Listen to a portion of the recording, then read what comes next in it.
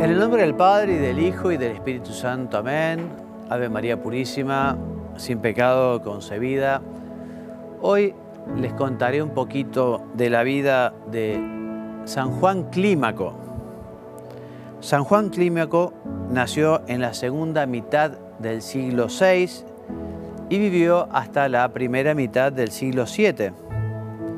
Habría nacido en Antioquía, parece que fue abogado allí.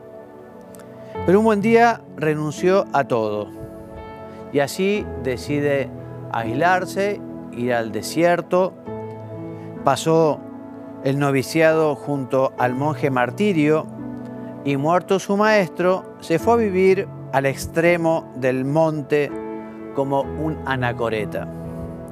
Y allí pasó 40 años dedicado al estudio y al trabajo al silencio y a la soledad, largas oraciones y corto sueño, parco en comer y prolongadas vigilias. Su deseo era vivir completamente aislado. Pero pronto corrió la fama de las virtudes, ¿eh? de sus virtudes, de su sabiduría, y por eso comenzaron a acudir a él para pedirle consejo y orientación.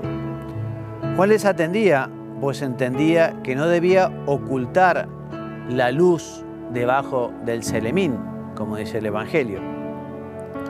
Cuando murió el abad de Monte Sinaí, los monjes, conocedores de la virtud y discreción de la anacoreta, le rogaron que aceptara sucederle. Juan se oponía, pero fue tal la insistencia que aceptó. Y acertaron pues el nuevo abad obró siempre con sabiduría y fue un muy buen ejemplo para todos. San Juan Clímaco es el más popular de los escritores ascéticos de aquellos siglos debido a su única obra, Escala del Paraíso.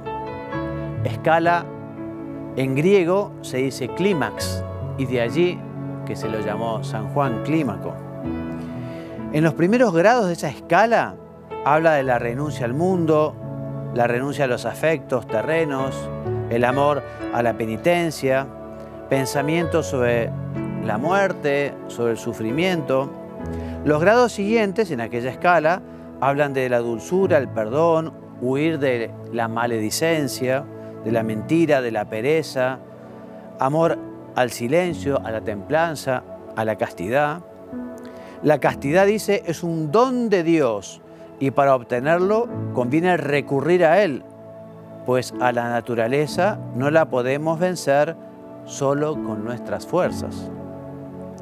En los últimos grados de aquel libro suyo, de la escala, habla de la pobreza, del canto de los salmos, de la paz, de la oración, de la humildad. El último grado del libro está dedicado a las virtudes teologales, a la fe, la esperanza, la caridad. El santo abad hizo edificar una hospedería cerca del monasterio para atender a los peregrinos. Enterado el Papa, San Gregorio Magno, le envió una buena cantidad de dinero para ayudarle en la construcción y manutención de aquel lugar. San Juan Clímaco cumplía su misión, subió raudo por la escala de sus buenas obras al paraíso. Qué lindo, ¿no? Poder efectivamente imaginarse ¿no?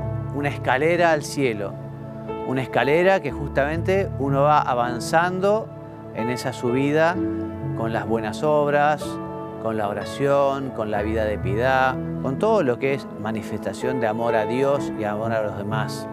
Hoy se lo pedimos a San Juan Clímaco para poder ascender por esta escalera hasta llegar a la eternidad, al cielo que Dios nos preparó. Dios los bendiga y los haga muy santos. Amén.